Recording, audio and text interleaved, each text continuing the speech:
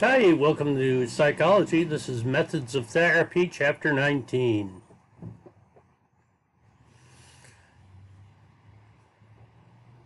Section 1. The various methods of psychotherapy seek to help troubled individuals. There are a variety of methods and types of professionals involved in psychotherapy. Individual therapy and group therapy both have advantages.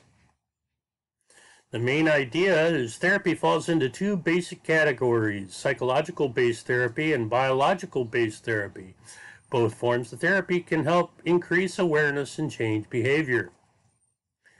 So, what are the main goals of psychotherapy? What are the three main categories of professionals who practice psychotherapy, and how do individuals in group therapy compare? These are the questions you want to be able to answer upon completion of this section.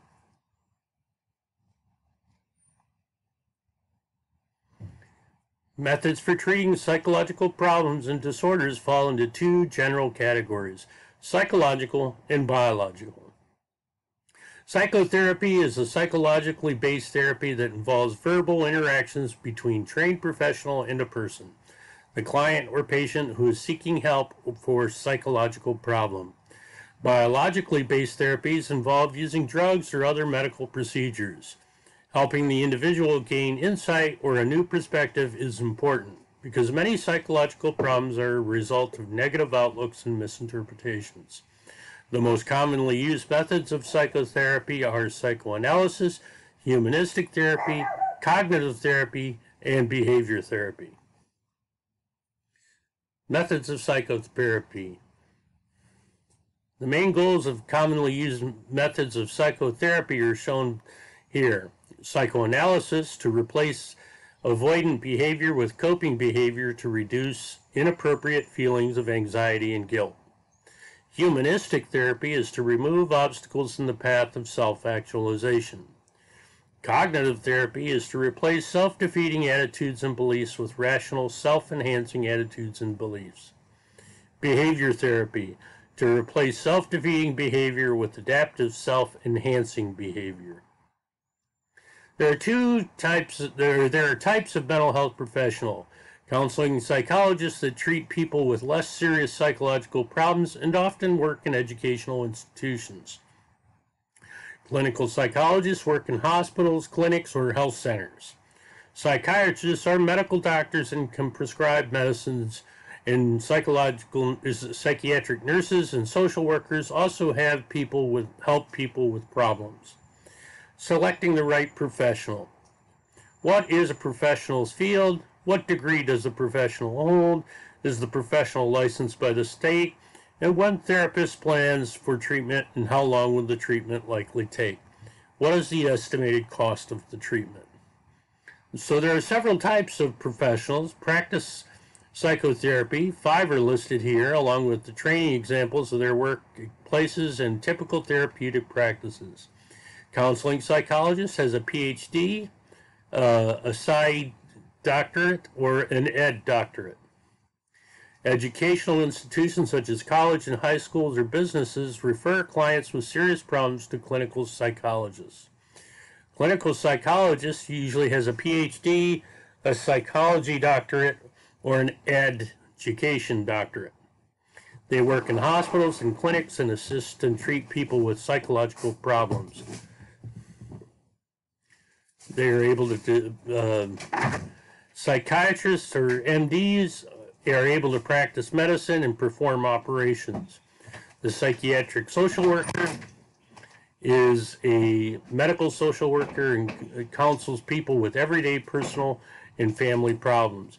Psychiatric nurse is an RN and dispenses medicine and acts as a contact person between counseling sessions. Individual versus group therapy. Frequently, people who seek help for psychological problems have a choice between individual and group therapy. Both types have their advantages. The advantages of individual therapy is a better for people who need more personal attention or will feel uncomfortable talking about their problems in front of a group. Advantages of group therapy. Group therapy helps individuals realize they are not alone. Members can gain insight and receive support for people who have experienced the same struggles. Types of group therapy couples, family, and shared problem therapy. Self help groups are compared with people who share the same problems. They often meet with the presence of the, a therapist. Section 2 Psychoanalytic and Humanistic Approaches. Psychoanalysis is a method of therapy that was developed by Sigmund Freud. Some techniques of psychoanalysis include free association, dream analysis, and transference. The primary goal of humanistic therapy is to help individuals reach their full potential. So the main idea of this section is psychoanalysis and humanistic therapy are two important methods of treatment. So in your notes, you should have at the completion of this section, how did Freud view the role of psychoanalysis? What are some of the methods of psychoanalysis? And what is the goal of humanistic therapy? Psychoanalysis was developed by Sigmund Freud and literally means the analysis of the psyche. First method used in Western countries and has become less popular in recent years. Freud believed most problems originate in childhood experiences and conflicts. Psychoanalysts try to reduce anxiety and guilt by helping clients become aware of unconscious thoughts, feelings at the root of their problems. The self awareness is called insight. One of the methods he used was free association. The analyst asked the client to relax and then to say whatever comes to mind. Is tied to the Freud's use of hypnosis.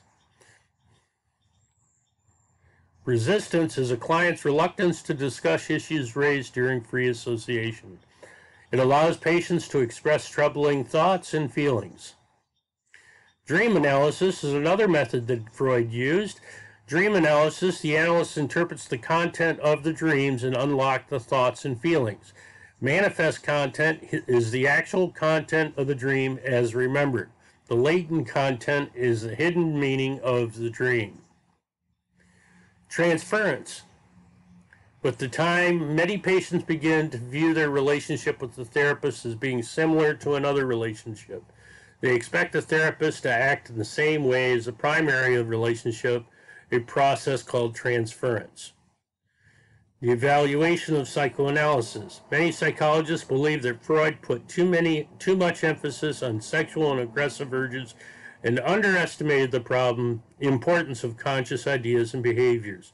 And it's not a useful treatment for a major depression for bipolar or schizophrenia. Brief psychoanalysis is a shorter terms have become more common in recent decades. Brief psychoanalysis has more limited focus and focuses on fixing a specific problem. When it comes to humanistic therapy, the primary goal of humanistic therapy is to help individuals develop awareness and self acceptance. The method assumes people are basically good and people with psychological problems can heal using their inner sources, resources. Talking openly, person centered therapy is talking openly about whatever may be troubling an individual and is called non directive therapy. Active listening involves the listener repeating, repeating and rephrasing the speaker's statements. Unconditional positive regard from the therapist is important, uh, and this is where they accept anything that the person has said. They don't judge. Um, Nearly three fourths of the people obtaining person centered therapy showed greater well being on average than those who did not. It works best for people who with anxiety, mild depression, or social problems. Public therapy. Guests on talk shows and troubled celebrities make their psychological problems the center of entertainment. Artists have shown the strangers enjoy, enjoy discussing problems with strangers in public place. Are the people who seek help on television shows uh, really seeking help or are they being exploited for entertainment? One reason people may ask, uh, seek attention or on their psychological problem is from isolation from modern society. So, where does the appeal of talking to a stranger, even without counseling credentials, come from? People go no longer. People go longer without face-to-face conversation in a modern world. So let's talk about section three cognitive therapy and behavior therapy. The aim of cognitive therapy is to help people learn to think about their problems in more productive ways. The goal of behavior therapy is to help people develop more adaptive behavior. So the main idea of this section is cognitive therapy and behavior therapy help people develop new ways of thinking and behaving. So upon completion of this section, you should be able to answer what's the aim of cognitive therapy and what is the aim of behavior therapy. Both cognitive and behavior therapists encourage clients to focus on their thoughts and actions. The aim of cognitive therapy is to help people learn to think about problems in more productive ways and change their ways of thinking. Two common methods of rational emotive and cognitive restructuring. Rational emotive behavior therapy is based on the belief that people are basically logical in their thinking and actions. The assumptions upon which they base their thinking or actions are sometimes incorrect. The goal of the therapy is to identify and then change false assumptions. Methods include role playing and homework assignments. Aaron Beck identified several types of illogical thought processes that lead to emotional problems. Arbitrary interference or drawing conclusions for which there is no evidence. Selective ab- abstraction is drawing conclusions on a single detail while ignoring the other details. The overgeneralization is drawing a conclusion from a single experience. Therapists guide clients to observe, identify, and then change their thought patterns. Evaluation of cognitive therapy it tends to be short-term method. It studies how uh, show modifying irrational beliefs helps people with anxiety, depression, and personality disorders. It's helpful for major depression in some people who were only responsive to medicine and biological therapies. It provides coping skills that reduce the risk of recurrence. Behavior therapy, the goal is to help people develop more adaptive behavior. To behaviorists, the be- reasons for unhealthy behavior is not important. Changing the behavior is what matters. Their two main car- categories are counter conditioning and operant conditioning. Counter conditioning pairs a stimulus that triggers an unwanted behavior, such as fear of spiders, with a new and more desirable behavior. Systematic desensitization therapist trains the client to relax in the presence of anxiety producing situation. Modeling is client observes and then imitates the therapist or another person coping with the feared object or situation. Aversive conditioning is where the therapist replaces a positive response to a stimulus with a negative response. People who learn more desirable behavior increase their self esteem and lead uh, res- less restrictive lives. Operant conditioning is based on the assumption that behavior that is reinforced tends to be repeated, whereas behavior that is not reinforced tends to be extinguished. Therapists teach clients to behave in a certain way to achieve a desired consequence. It is sometimes proven effective in more severe cases that were resistant to other outcomes or other treatments. Sometimes people find gradually changing to be easier. Successive approximation is a series of behaviors that gradually become more similar to a target behavior. Evaluation of behavior therapy. Behavior therapy tends to be somewhat more effective overall than the psychoanalysis or person centered therapy. It is a short term therapy, and so it can bring about lasting results in just a few months. Cognitive behavior therapy attempts to change the way a person both thinks and behaves. Aversive therapy is the end of harmful behavior. The technique is to associate the behavior with a painful situation. Uh, associating a behavior with aversive st- stimulation makes the behavior offensive. So, of this kind of aversive thing might be uh, where you snap your rubber band every time you say a profanity. Um, and uh, eventually uh, you would learn to quit saying profanities. Um, operant is encourage adaptive behavior. reinforce adaptive behavior or avoid reinforcement of maladaptive behavior. The reinforcement increases and the lack of reinforcement extinguishes the behavior. Biological therapy. Biological therapy relies on medication, electric shock, and surgery to help people deal with psychological disorders. Because these treatments are medical in nature, they must be administered by a physician. Electroconvulsive therapy and psychosurgery are both controversial procedures. The biological therapy relies on methods such as medication, electric shock, surgery to help people with psychological disorders. So what you should remember at the end of this section is how are the major categories of drugs used in therapy? What is electroconvulsive therapy? And how would you define psychosurgery? Biological therapy attempts to alleviate psychological problems by affecting the nervous system. Because these treatments are medical in nature, they must be administered or prescribed by psychiatrists or other physicians. Four major types of medication are commonly used anti anxiety drugs, antidepressant drugs, lithium, and antipsychotic drugs. Anti anxiety drugs or antidepressant drugs are also sometimes used in treatment of such problems as eating disorders or panic disorders.